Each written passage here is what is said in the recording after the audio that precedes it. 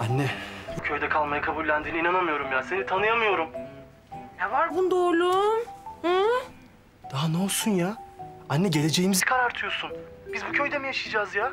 Bak ben burada yapamam. Sen de yapamazsın. Hadi ne olursun kendine gel ya.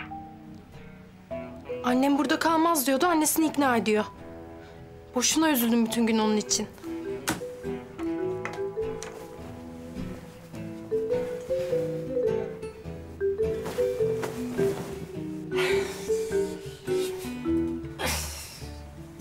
Gevre gel. Gel. Oh. Oh anasının kuzusu. Oh. Bak ben düşündüm taşındım. Hepimiz için en iyisinin bu olduğuna karar verdim. Sen ne ara düşündün bunları acaba ya? Bütün gün patlıcan uyup kışlık ketçap yaparken mi düşündün?